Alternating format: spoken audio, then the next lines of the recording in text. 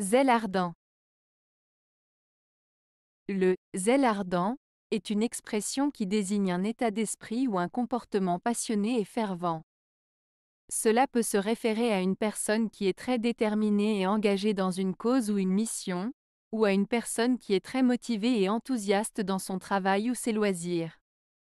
Exemple, durant la Révolution, les partisans de la liberté ont fait preuve d'un zèle ardent pour défendre les droits et les libertés des individus.